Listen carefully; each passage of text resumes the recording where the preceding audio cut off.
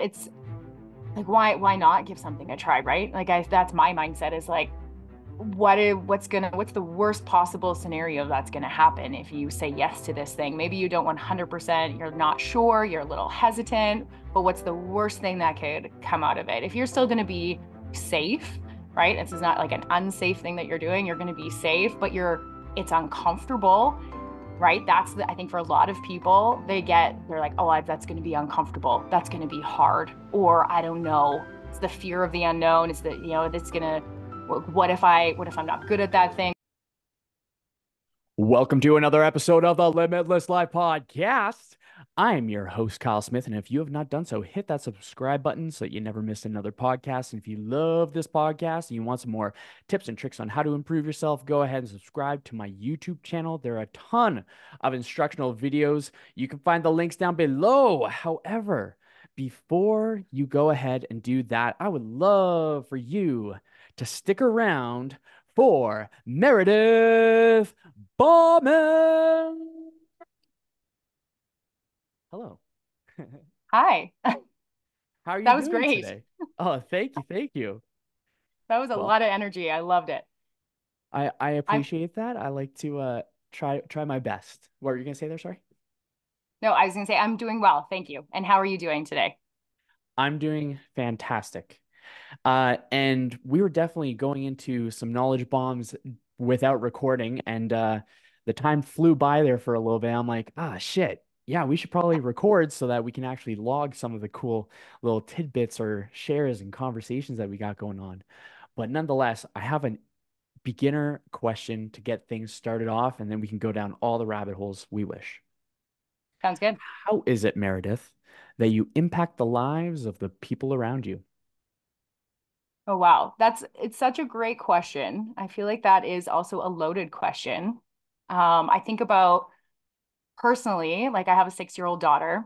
So I think about the impact that I would have on her. That might be slightly different than the impact I would have on the people around me that I would impact professionally. So my daughter, she's six, and I really want to always make sure that I'm showing her unconditional love and support and also empowering her and having her grow up independent and those things and i always want to lead by example. I always want to be the the mom who is going to show her that she doesn't have to you know be a martyr in life and those types of things that she can take care of herself and she can you know put good food into her body and she can move her body in ways that she enjoys um, and she can do all the things that she loves in life but she doesn't have to sacrifice necessarily those things for herself. I think that's important for me to show her that you know mom is there for her no matter what but also that i'm there for myself too and that she sees that. So she grows up being one of those you know women that's going to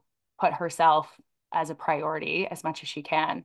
So that's a that's a big impact obviously having a little one. And then professionally professionally i wear lots of different hats. And so i think that that that changes a little bit depending on the group that i'm working with. I've been a registered massage therapist for 17 years which projected me down on the path of i think helping people would be probably the biggest thing.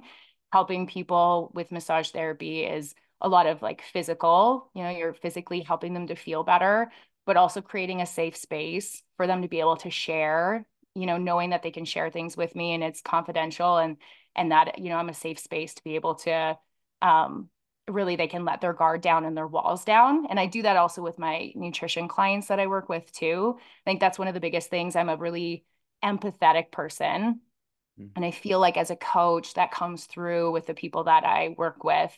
Um, and I want people to feel safe and I want to be able to empower them. I want them to um, have a self of, you know, that self efficacy where they feel like they're in control of the things that they are doing.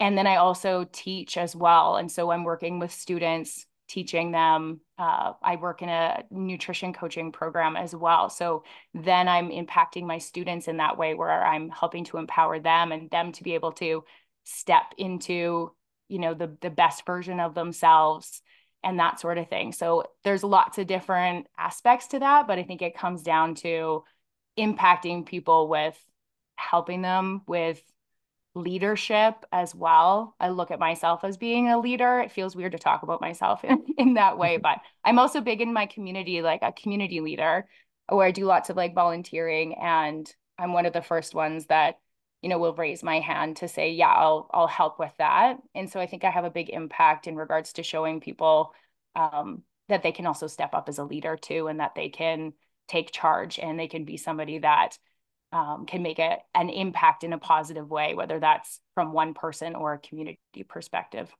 Mm. That was a lot. I don't know, Kyle. that was that was absolutely fantastic. I I really like how you categorized it, where you put it into as a parent, but and then also as a professional. Um, so as a person, how do you lead yourself? Oh, yeah, that's a, that's another great question. I feel like over the years I've gotten much better at that. Um, that I'm like a lot kinder to myself, I think. That's probably one of the biggest things. I have worked a lot on my mindset. I'm a certified mindset coach too. And so that's been a huge thing for me, taking that, like that, getting that knowledge and that certification not only has helped me to be able to help other people, but it's helped myself, like taking a look at my mindset and the way that I view things and think about things and myself. And I very much am always trying to carve out um, how to take care of myself in the best way while serving others because mm-hmm. the work that I do is taking care of other people and helping them to take care of themselves. But then sometimes I can get lost along the way a little bit. And I've I've gone through periods of where I've been in like burnout mode where I'm like, oh my goodness, I can't do any more of this. But then I've, I think I've learned over the years when those symptoms are coming up so that I have to stop and just say, like, I got to set better boundaries. I got to use the word no, which is a complete sentence, right? Those are all things that I'm practicing that I never, that I didn't really do before. And I think as I get older, not to age myself, but as I get older, I feel like I learn more have more experience, have more knowledge, then I start to get better at taking care of myself and putting myself. I say to my clients a lot of times, there's as moms, we want to put our family and our kids first, right? It's like that's our priority. It's really hard for moms to prioritize themselves. And one of the perspectives I like to have is that we don't always have to put ourselves first because that feels a little selfish, especially for moms. That's hard to do, but we can put ourselves in the mix right? Like, why can't I take care of myself at the same level that I take care of everybody else? It's only fair for me to do that because who else is going to do that for me? Who else knows inside my body if I'm feeling burnout mode or not? I need to be able to recognize those things and, you know, listen to myself, my body when it's talking to me and say, okay, I, I'm allowed to take care of myself at that same level so that I'm not always putting people ahead of me all the time, that I'm in the mix with everybody else. I think that's probably one of the biggest things over the last few years for sure, especially becoming a mom. You have to figure out that that balance a little bit more. I like the uh, reframe of putting yourself in the mix. It's it's still including. It's it's looking at yourself as a part of the as a conduit to a cycle where yeah. the energy comes in, the energy goes out. The energy comes in, the energy goes out rather than energy out, energy out, energy out, energy out. It's like no, no, no, you got to you got to get into the mix to actually like flow through things and well bring bring bring your most abundant self. Yeah i think it's always that putting on your own oxygen mask first before you can help other people. That's hard to do but also you're not going to help anyone if you're not ever putting something back into your own cup right? Like we can't mm-hmm. pour from that empty cup and uh, that's a, a big lesson i think for a lot of moms especially and i'm saying that because i am one and i work with a lot of moms but it's really hard. They deplete themselves fully and then they don't know how to get started or where to even go from there. So i think if you can keep it at that you know you don't have to be full to the brim but you also can't run on empty. So you have to find somewhere on that spectrum in between totally empty and you know overflowing. Let's find some middle ground there so that we can continue to take care of all those other people that we have on our plate to take care of. Mm. I like that. I like that quite a bit. I uh I like putting relations into a category I call fellowship and I define that as the people that we make space for. Yeah. And being able to be really clear on the person that you want to be for all the others as well as yourself uh, can positively can can help reflect on reputation and hmm think of the reputation that you have with yourself, which can also go with the reputation of what your past selves would also look at you today as. And Right. uh, you know, that was actually a pretty pretty little uh, little flow on this one because something that I really liked with uh, a post that you made that it's it's a long one, so I'm not going to read it, but you can definitely add some more context.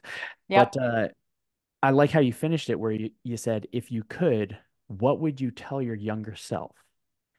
Yeah. And uh, out of curiosity, I'll ask the question, then you can go you can go into any sort of rabbit hole you can go down. I would like to flip that and see what your just raw answer would be. If what would your younger self, and you can go with, I believe the most impactful times were 6, 12, and 20. Were those the times that you had in your post? Yeah, it sure was. So if you have 6, 12, and 20, what would each of them think about who you are today? Ooh. Oh yeah, that's that is uh actually that that's really uh, intense to think about, actually. I It I is. yeah, it is it is. So I think my I think that even anyone that knew me in elementary school or high school, probably like anyone that follows me on Facebook or finds me on Instagram, I think a lot of times they're almost in a way surprised, but in a in a good way. Like they're surprised of what I do, even for for work and and that sort of thing. I was always somebody that helped people. Like I was always that person. In high school, I volunteered for everything. I was always somebody who was trying to help somebody else who needed a needed a tutor or just needed a, a hand with something. And so I don't think that that would be surprising, but also, you know, I used to be 60 pounds heavier. And so I think that, like, if people look at some of my posts and they see that I've become more of an athlete, I think that's probably surprising. Um, and I think that they probably, a lot of them just get in a way shocked of they're like, oh, I was like, Meredith is doing these things with her life just because I don't think that that was how I was perceived in my younger years or in high school or that kind of stuff. Um, but I think those younger versions of myself would be really proud, be proud of myself for the, the work that I've done on myself and how I how I show up and help other people too, and that I didn't let that stop me from coming into my own in the way that I have. Mm. And yeah, I know it almost makes me emotional. That's fair. Hopefully in a good way. Yes, in a good way. Kate, now I want to I want to flip it on you, Sure. and because that impacted you that that question, Mhm. what would what would you say to your younger self if you could reflect back on a time in your life when it was maybe a, a turning point for you or something like that? Is there something that you would go back and tell your younger self? Oh yeah. Yeah. Well, I say that like I say that like I would say a bunch, but there's there's probably because I I do reflect often. And so I, I kind of think of it in like a if I could go back in time and it was it was a time bubble, so nothing nothing changed. I don't want any butterfly effect shenanigans going on. Like Back to the Future stuff, I just watched a couple breakdowns and I'm like, I don't want to have that kind of sequence of events happen. So it would be fair. very specific. It would be a little time bubble where I could just chat with my younger self. And I think one of the most a couple of the prominent times one kind of visualization that I had, which is a little bit more tact tactical, I guess, that I've used is uh, when I think of the most in when I think of the time where I wasn't quite lost or but I was like kind of whew, like overwhelmed or just shenanigans, like shenanigans that was going on. And it was around the age of nine. I would say nine would probably be one of my most pivotal, pivotal years of existence. And then 26 would definitely be up there. And then what am I? I'm 30. So it'd be 31 would also be another one. So I think those three would, I want to pick three because you had three. So I wanted to like Yeah. level it out. Uh, so uh, starting with youngest, uh, something that I've done with this one, and I might get all feels on this one because this is like heavy shit. But uh, something that something that I think of is this is a thought. It's until the day that we choose to do so, where we consciously make the decision to do so, we will show up for our inner child as our parents showed up for us. So if we're able to change the relationship to the the person that we need or needed or maybe even not needed but would have been a little bit more of a helpful guidance and if Mm-hmm. we can visualize ourselves as that person so i visualize myself presently as that person for my 9-year-old self Right. so if i get the opportunity to to like think and speak to my younger self i take it from a place of looking down on him and pointing at him and telling him what he has to do and like the the initial uh coaching on parenting that I've gotten previously. And there's goods and bads, right? But I'm thinking specifically for the parts that don't strengthen us. The not I, I want to decrease the uh the I want to decrease the amount of pushing and holding Hmm, there's a specific word that I want to go for, but it's not quite popping up. But I want to make sure that the good stuff is popped up there. It's like really bringing it there. So then in that moment where I'm looking at my younger self, that's one point where it's awareness of that. And it's like, I don't want to talk at you. I want to Mm-hmm. talk with you. So then it goes from standing to kneeling eye level. At that point, I could just be like, little Kyle, man, like you're going through some tough stuff right now but this is also going to be foundational for who you will become. Totally. And then being able to bring that little one in rather than allowing that inner toddler, that inner toddler, inner toddler's tantruming to divert progress in the present. Right. So then it goes, that, then the third part is it goes from that hold, that hug to both both of us are looking in the same direction with a common goal. So it goes from being talked at being spoken to or listened to articulating a vision that both people can work towards together. So that would probably be my nine-year-old one. And then 26, uh, what I 26 would be pivotal because I did uh, the world's toughest mudder and I talked about that a bunch on a couple podcasts. But that one was one where I really uh, I put it as I broke down the body to build up the mind. So I I was not happy with my reputation. Actually, okay, there we go. I would actually say to myself at that point in time that your reputation sucks right now, but you will be changing it. I think that's what the that's what it would be, actually. Ooh, That's good. This is a good catalyst conversation because I wouldn't have made those two little connections there. Sick. Uh, and then 30, You yeah, 33, I think, 33 is 31. present. Right now, I would just tell myself to keep on going. But 31 would be uh just two years ago. What would I say to myself two years ago? I would, I probably wouldn't change anything. Yeah. Well, that's a good to, reflection, yeah. though. No, I think that's uh, I think that's probably the one of the better case scenarios, actually, now that I think about it. But Yeah. those would probably be good little flipperoo on that one, but that's probably what I would tell my younger selves.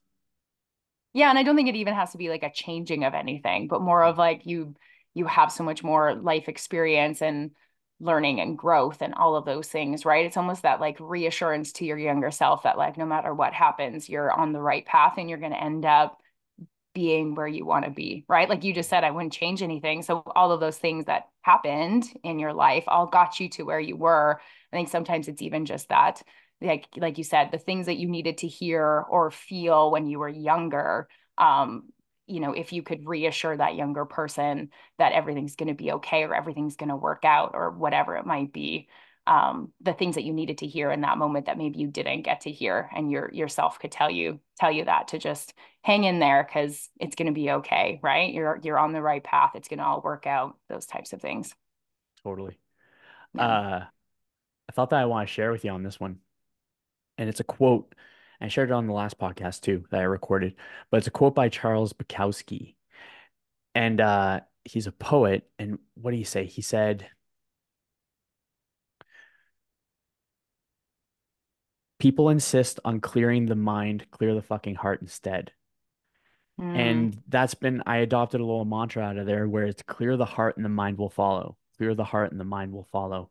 So when we're talking about, uh, the younger self, uh, the the the younger aspects, talking to our younger self, and how it impacts us today in the present, but be, being able to go back then and kind of influence and impact and create that safe space for that little yeah. version of us. That's that's what kept on popping up is cl- clear the heart and the head will follow because we're going upstream of the feelings that we get to feel. Hmm. Mm-hmm. Yeah, I like that. That's neat. So after those little rabbit holes.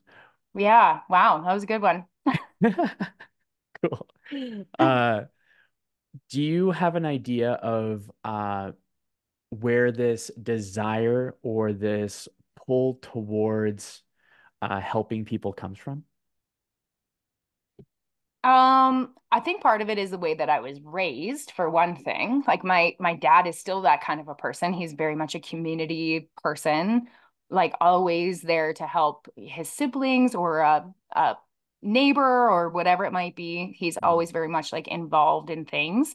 Um, my mom, my mom always had this like well, she my mom has this huge heart, but she would always had this really inviting um, space in our house where our door was like a revolving door when I was a kid of like all the kids in the neighborhood that needed a mom. And my mom was that mom. like our house was like a safe space. If you needed to come and you needed a, a hot meal or a bed to sleep in or whatever it might be, that was our our house. And so I think with that, it was something that I was raised with, right? Is mm-hmm. that, you know, that it was a something instilled in me from a young age, I think. Um, something that I recently went down a rabbit hole about was a friend um, in the last couple of years. She was like, Do you know what Enneagram number you are? And I don't know, Kyle, if you do Enneagrams. I don't. Um, You'll have to give me some insights. Oh, okay. I feel like you might find this interesting. So, uh, Enneagram, there's a test that you can take. So she's like, I'm pretty sure you're this number. She thought I was a three. Uh, based on the characteristics. So the Enneagram is a bit of like a character thing, but it's based on your motivations to do do things. Mm. And it's been really insightful for me to learn about my Enneagram because it I feel like it's answered a lot of like questions for me or affirmed things for me of like why I am the way that I am. Mm. So I took the test and it was interesting. It was uh I'm an Enneagram 2, which is categorized as the helper. And I'm a I'm a two with a wing three. So you have a number on each side. So if I'm a two, I'd either be have a wing one or a wing three, and you pull characteristics from that other number. So I pull from a three, which is very like self motivated, goal oriented, likes to get tasks done. Um, and then they're considered the host.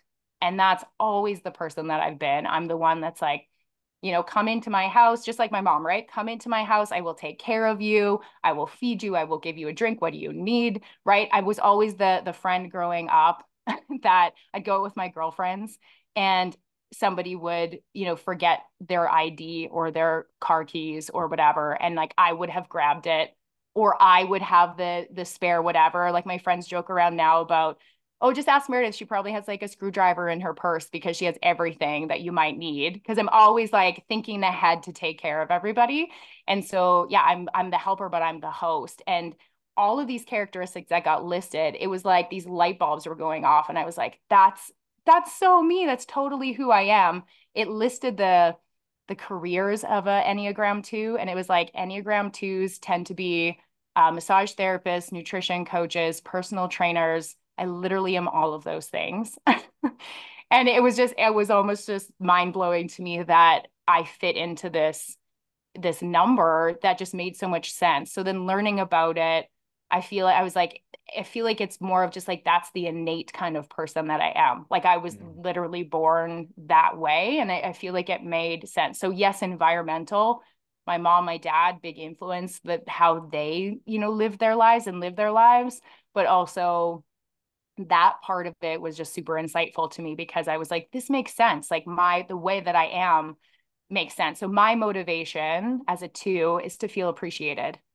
Mm. And like words for affirmation, uh, words of affirmation for me are huge. If somebody says to me, you know, I'm I'm volunteering, I'm helping somebody, if someone's like, thank you so much, or I really appreciate all that work you did, that's what lights me up. Like I I want to help people, but that's part of that motivation is like if you make me feel appreciated, I will do all of the things for you. Like I will you can count on me, right? If if you're going to make me feel like I was able to help you, then I will continue to be that person that you can rely on and I will I will be there for you. So I think it's that's that's been a big piece for me. And I know some of people maybe listening might be like don't know Enneagram, might be a little woo woo. That's fine. It has it's been a big change for me. It's been helpful for me just to learn that about myself and also feel like, "Oh, this makes sense. It's not I I'm not crazy in some way for having these characteristics about myself that's just the way that I am. And it's almost allowed me to accept certain things about myself, if that makes sense. totally. It just added a couple more layers of understanding. Yes, hmm. exactly. and it, it just, you know like that somebody might their brain might work a certain way and my brain works another way or my motivation to do something might be different from someone else's and it just kind of made sense to me just having another piece of information to to add. I don't just go by that oh i do these things because i'm an enneagram 2 but it's sometimes it's oh that makes sense. That's a two thing and it's very much a characteristic. Somebody else might go through life thinking or doing something a different way because they have a different motivation they have a different reason why they might be doing that thing or reacting to something the way that they do because of their characteristics that they have. Um, so that, yeah, that's just been a, a piece of it, I think, for me is taking a look. You talked about reflecting, but like reflecting on my past and my childhood, and then also looking at some of those other things. And I think all those little bits of information that you can learn about yourself or what could be true I think that just adds another layer to things. And it just has allowed me to, I think, to understand myself on a, a whole other level. I like that. I actually have a thought that's kind of, that's kind of, kind of goes with this one. Pulling out a couple thoughts. It's pretty cool. Uh, the things I, the thing that I find interesting is, and I was like this before, the hesitancy to try something or observe something like let's say it was an enneagram or let's say it's like could be something similar to astrology or numerology. Uh, and the thing that i think is interesting or how, how i've organized things is because those things are conceptual they can work as long as there's the belief. So you know some folks will be like oh it it doesn't work. Well it's because you don't believe it works Right. And I think because I think that we're in a time of conceptual survival because we're in a really abundant area. So it's survival of the mind. So if we can adopt something that can progress us or encourage us or inspire us to progress towards the vision that we want and it's conceptual and it whether it's whether some people believe it's real or not is irrelevant whether it is yeah. verifiable or not is kind of irrele- irrelevant as well because people will say they accomplished this because of that or something along those lines. Mm-hmm. So I'll definitely check out the Enneagram because I like that kind of stuff. And along with that too is that's just another that's just another form of information about yourself that pops up and something that's kind of cool. I've been really noticing it last year, but the more that I've been learning about myself internally and just trying to go deep, deep, deep, deep, uh, is that, and it's so funny because I think it's kind of cliche to say, but when you start learning more about yourself, you start to learn how little you know. Mm-hmm. And that's such a clusterfuck. like that's that's like it's so interesting where it's like as you're unraveling the because you're a mindset coach and I like the definition of mindset being what you think about yourself. So going into the mindset of what you think about yourself, it's like, well, what you think about yourself then goes into what do you understand about yourself? What do you feel about yourself? What do Mm. you like? It goes deep, deep. Mm-hmm. It's like that uh, five whys. Like ask a question or ask yourself why five times, and you'll get to the very root of it. And it's kind of interesting. It's interesting that we're Yeah. just like the the nesting dolls of just like going just into the Yeah. abyss of unknowing ourselves. You're like an onion. You got to peel back all the layers, right? Yeah, exactly. I was just Uh, thinking about what what you said with uh if you don't believe it, it's probably not going to work for you. And I've actually experienced that even like being a massage therapist for mm, 17 years. mhm, It's interesting how there's people that they don't they don't believe even that massage therapy can help them, right? Whether they've had chronic illness for a long time or they just think it's like a woo-woo thing. We're like, oh, you know, I don't think I don't think that this is really going to help me, but my, you know, I got a referral and or my friend told me I should give it a try. And then it's like I I'm a pretty damn good therapist. I've been doing this for a long time. I've done a lot of treatments. I have a lot of education and knowledge and experience. I, I help people all the time and it's amazing to me that people still have this block where they're just like i don't i don't think this is going to help me but i'm going to come for a treatment anyways. And i'm like the chances of you actually having a positive experience or having a significant change from coming for a treatment is has exponentially gone down because you don't believe that you can get better or you don't believe that this is going to help you. Like it's it, that's not going to help you at all if you go into it with that mindset where you're like, well, I don't think this is going to help me, but I'm going to do it anyways. Like you're probably not going to have a pretty good, like you're not going to have a good experience that way. So people that are more open to, I don't know if this is going to help me, but I'm definitely open to this. You know, I'm going to give it a try. I'm going to see what happens. Um, that is, you know, much better mindset to go into something than, you know, oh, that's that doesn't work or that's not going to work for me, that sort of thing. So it's even interesting. My own mm, dad, he um, at, at one point his you know his back was bothering him. And i was like i was like hey dad let me do a quick assessment on you. And i was like i'm pretty sure you have like a rib out here and a rib out there. And i was like you got to go to the chiropractor. And he's like okay. And so he goes to the chiropractor and then he's like calls me. He's like guess what? I had ribs out exactly where you said i was like really i was like yeah, you did. I had a pretty good feeling, or his feet were bothering him. And I was like, pretty sure you have plantar fasciitis. Try doing these things, but I can't diagnose. So go and get checked up with a doctor, chiropractor, whatever. And then he's like, I have plantar fasciitis. And they told me to do all the things that you told me to do. And I was like, yeah, dad, I'm not just guessing. Like, I'm not, I'm not just like, like grasping at straws trying to like tell you some random thing. I actually do know what I'm talking about. It was just interesting how he just didn't even think that I had the, the the answers for him, right? Until he heard it from another source. So sometimes I think it's that too, right? People they're just like, mm, I don't know, I don't know about this thing. I don't know if I believe that. Well, it's it's not necessarily going to work for you if you're totally closed off to it either. mhm. Two two thoughts that popped up on that. One that's a quick one is uh it's funny it's funny how often we resist advice from loved ones who we trust and we're so Right? quick to take on advice and anything from strangers.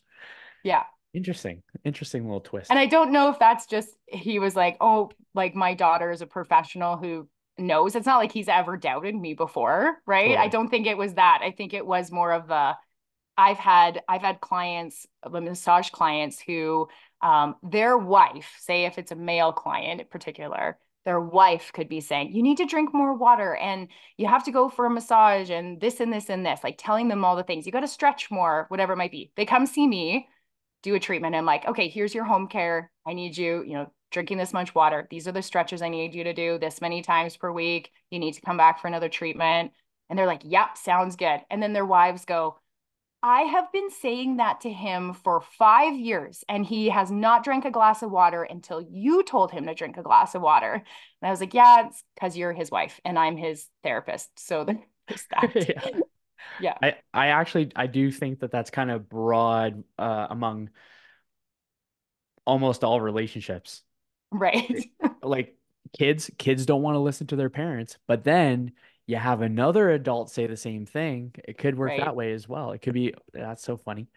Yeah. Um, something else that uh, popped up as we were talking about uh um at least being willing to try something. I think that's something that's really cool with the well, one that else that you said, no is a complete sentence. Do you think Mhm. yes is a complete sentence as well? I think it can be. I think so too. Yeah. Sick. Yes. So going that that one actually period. had yeah, yes. Yeah, fair. Uh the actual the other thought before that one was when we have when we decide that we're okay with saying yes to uh, a new experience, a novel experience, I think that it takes us it could get get us a, a moment a moment away from that uh the particular experience that we're having having because then we're put into a new spot and I'm actually thinking of a friend of mine, uh, Daniel. He did actually my buddy Calvin more more uh, closely. He did his very first sound bath retreat, and I would say out of the two of us, we've been friends since since we were like for almost two decades now. I would definitely say that I was I'm probably a little bit more on the woo side, and I think that he's just getting more into the woo side, or he's just been hiding his woo-ness, which I think is more accurate. But he called me and uh, he was telling me about this sound bath that he had, this experience that he had where he was like, yeah, it was like sound bath and there was a couple sounds and they were going through the whole thing and he was experiencing it. And he's got a really racing mind and he he did not he's like, I'm just going to go in to chill and just experience what's like. I'm not going to think about anything. I'm just going to be. And so he went in, he like just chillaxed and he did uh, some breathwork stuff. And then like there's a whole ceremony that they did, and it was something like two hours long. So it was pretty good. And he said that he had like a full experience. Like like he had like uh just reflections. He didn't trip out or anything like that, but he had reflections and he was like, wow. Like he was just the main message that he got was uh he's been and I thought this was a crazy cool reflection. He's been right rewriting the same chapter for the last chunk of time, and he believes that he is now intuitively pulled towards writing his new chapter. And I thought that was a sick reflection. So with the with the with the uh, willingness to say yes to a novel experience, we can find ourselves with an insight we normally wouldn't have had if we were resistant to trying out an experience where we may not believe it, is kind of Right. the thought that popped up. Yeah, I think with that, it's like why why not give something a try, right? Like I that's my mindset is like what is what's gonna what's the worst possible scenario that's gonna happen if you say yes to this thing? Maybe you don't 100%, you're not sure, you're a little hesitant, but what's the worst thing that could come out of it? If you're still gonna be safe, right? This is not like an unsafe thing that you're doing, you're gonna be safe, but you're it's uncomfortable right? That's the, I think for a lot of people, they get, they're like, oh, I, that's going to be uncomfortable. That's going to be hard. Or I don't know. It's the fear of the unknown. It's the, you know, that's going to, what if I, what if I'm not good at that thing? What if this doesn't work? Right. So it's that fear of failure or that fear of the unknown that can come up for people too. But really, if you can say, like, all right, worst case scenario, what's the worst thing that could happen in this situation? What are the chances of that thing happening? what are the chances of something positive or good that could come out of this experience. So just because it feels uncomfortable, I love that quote that the comfort place is a beautiful place to to live, but nothing ever grows there, right? Our mm. comfort zone, we live there, it feels good, but we don't actually grow there. We can't actually expand ourselves. And so putting ourselves into uncomfortable or hard situations like this, is my first time being on a podcast. I haven't done this before but I'm only going to be able to grow and learn and improve from doing something one time. And you have to be okay with, you know, being shitty or crappy or sucking at something to be able to get better at something because you have to be able to put in the reps and do the practice and whatever it might be. But even if you only do it one time, you're still going to get something out of it that's likely not the worst case scenario that you maybe made out in your mind. Mm. And so I think a lot of times I'm just like, why not? Why not give that thing a try? Why not say yes to something that could potentially grow and expand me? I guess is is the mindset. And the saying the no, the no is a complete sentence, just going back to that and we're backtracking. But with that, it's very much like the setting of the boundaries, right? Of the I can say yes to things that will grow and expand me, but also is that a hell yes or is that uh mm, I don't know. Am I doing it because I'm doing it saying yes for somebody else's purposes? Am I saying yes because I feel obligated to say yes or am I saying yes for myself. And I think for me, saying no has been hard to say no to things and to set boundaries around stuff. But I think the more that I get comfortable being uncomfortable saying no, because it for me, it does feel uncomfortable because I think people expect me to say yes a lot of times to things because I I am a helper and I am somebody that does a lot of things for other people. So when I say no, they're almost taken aback. Oh, wait, what? You said no? Mm. Why? I don't have to explain myself to you. I don't have to have a reason behind it. I can say no and that can be it. And that's hard to do. It's not easy to do, but it's something that I'm I'm working on. I think something that a lot of people probably listening, that's something that they have to work on too, or feel like they could do a better job of, of just like, why do I feel the need to have to say no and then have all of these reasons listed for why I'm saying no? I could also just be honest and say no and then have the truth. People lots of times feel like they say no and then they have to like, oh, I said no to doing that thing, but then I said it was because like my sister's coming and then I'm really busy and I have all this stuff and like but my sister's not actually coming, but I just didn't want that person to feel bad. It's like, well, you could just tell the truth. You could just say no. I'm tired and I don't feel like going to that thing. That's hard. It feels uncomfortable, but we can do that. And the person on the other end if they don't understand that's kind of on them right? Like those feelings that they have i can't take that on. I can't be responsible for somebody else feeling disappointed because i said no. They can figure that stuff out. That's their that's their job to figure out their feelings. It's my job to honor myself and my feelings.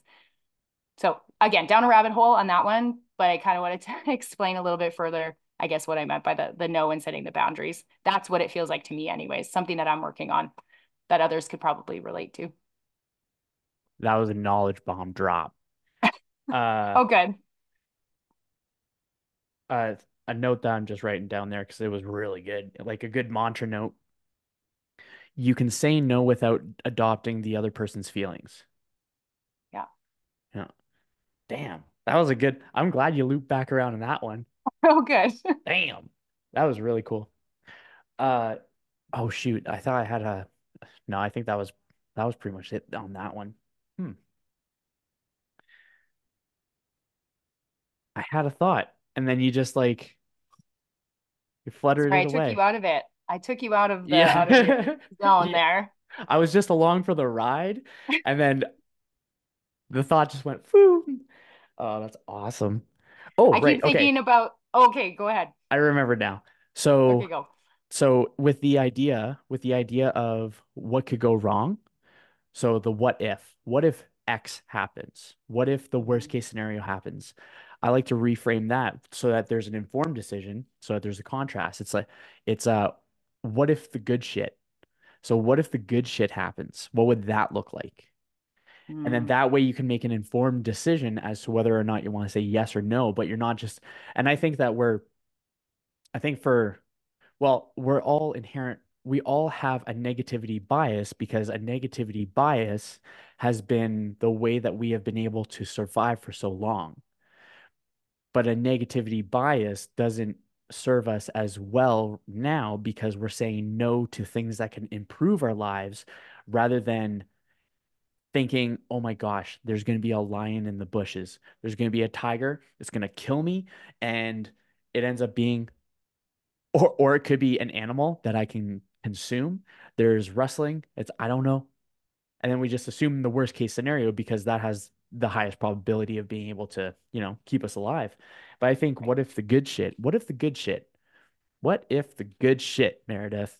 What do you think of that? Well, that yeah, I totally agree. I think that's a great way of like making sure you look at both sides of it so that you're not just thinking what's the worst case scenario? But it's also worst case scenario but what's the best? What's the best case scenario? What could happen? What could come out of this? Right? All of these things. I think if you have evidence too, if you can put that down on paper even and like do your pros and cons if you're trying to make a decision on something then you know do the cons and do the pros. There's probably a good chance that the the pros win out right? Of like when i weigh these two things and look at what i'm wagering you know if i go for it there's there's a good chance that like these things will come out of it that are a positive thing. So I think it's really important, as you said, to look at both of those things. Like, what about what if this good shit happens and I'm going to miss out on it if I don't take that opportunity? So I think that's really hard. Like, we're talking about saying yes to things and not missing out on opportunities. And then we're talking about saying no and setting boundaries. But I think you need to be able to do both those things to recognize when you're honoring your own feelings and your own self of like saying no, or am I saying yes for myself? Either way you should be saying no or yes for for yourself right? To that mm. like honoring what you need to be doing for you in that moment. So am i saying no to something because i'm scared? Am i saying no to it because it's going to put me in danger? Or am i you know saying no just because um you know because i i have a fear of that failure or whatever it might be or not looking like i'm smart enough or good enough or you know that i'm not the best at this thing. And so i don't want to look silly if i do it. And so if i just say no then i'm going to protect myself right? I think it's that mm-hmm. that back and forth a little bit. But i think you have to continue to practice that. Practice saying no and you have to practice saying yes on, on both ends of it.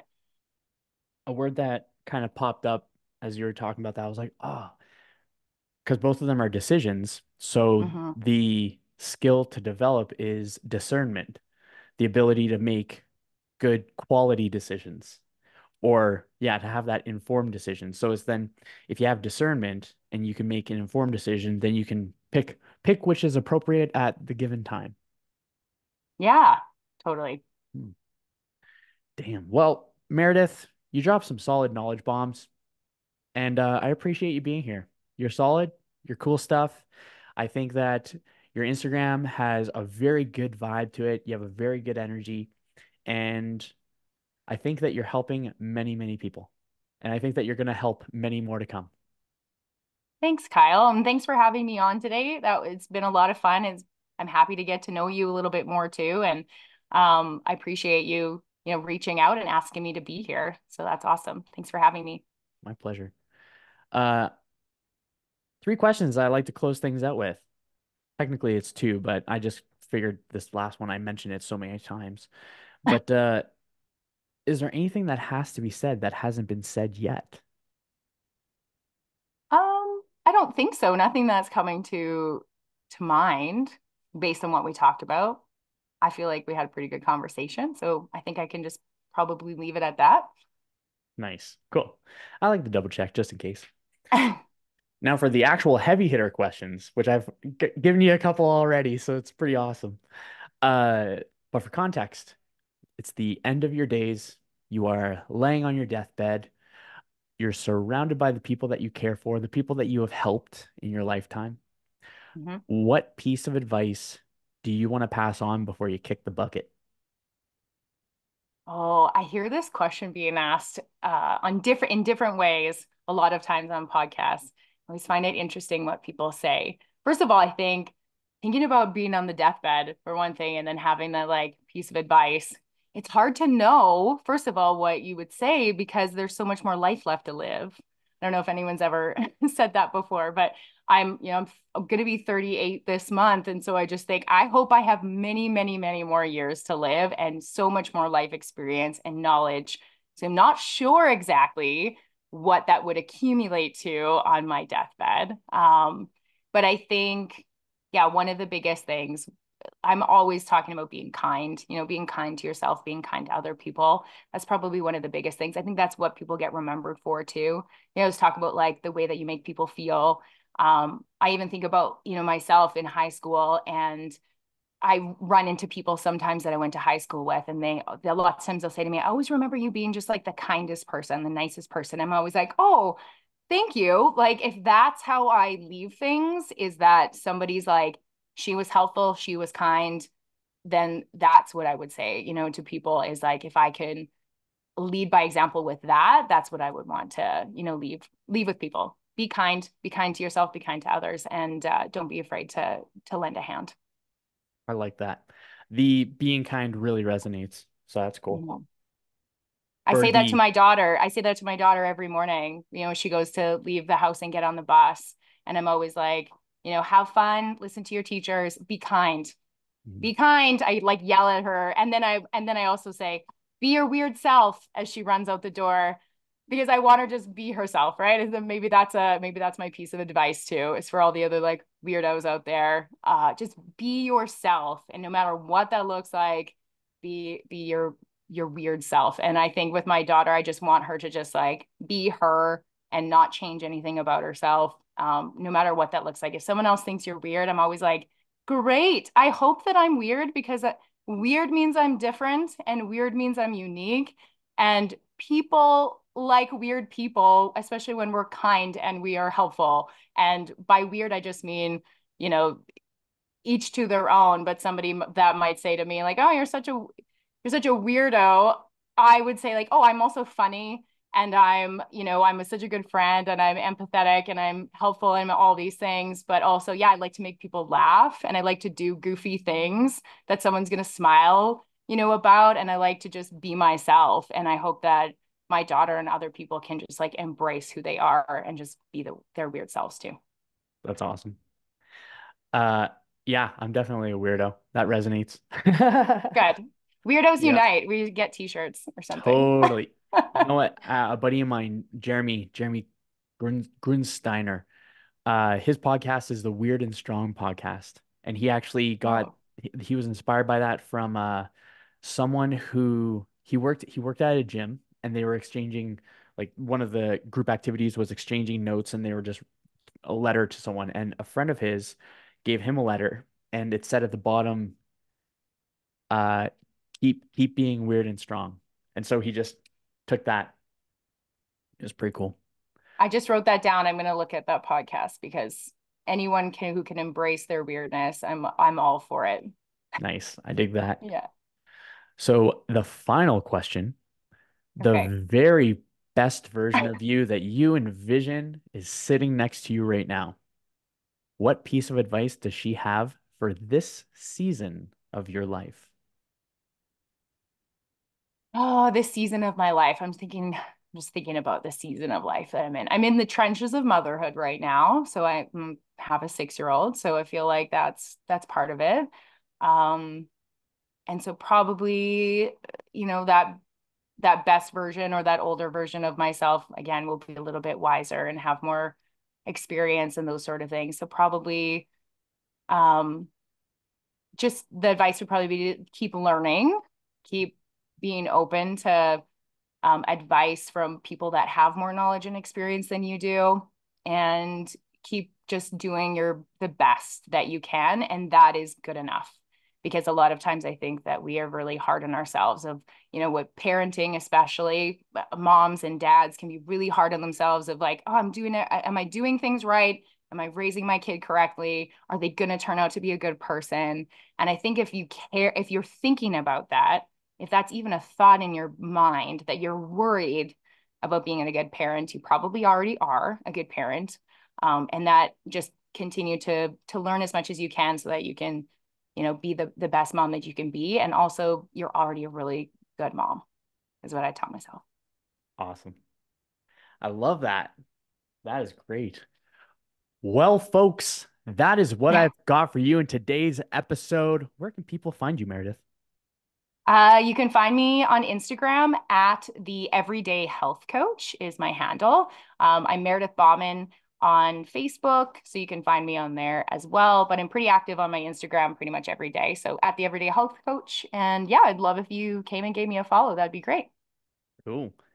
Well, folks, if you love today's episode, please do me a favor right now. Take a screenshot, share it on your Instagram stories, and tag me with my handle at Dapper Kyle, along with at the Everyday Health Coach. That is one of the ways that we grow.